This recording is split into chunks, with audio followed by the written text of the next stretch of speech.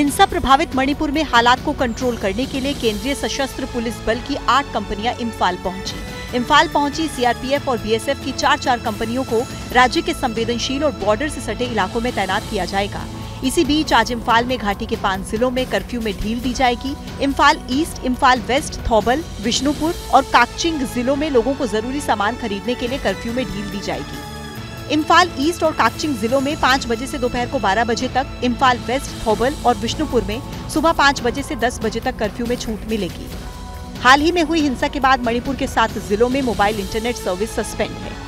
Imphal east, Imphal west, Bishnupur, Thoubal, Kakching, Kangpokpi और चुरा चांदपुर जिलों में मोबाइल इंटरनेट सर्विस अगले तीन दिन तक सस्पेंड रहेगी।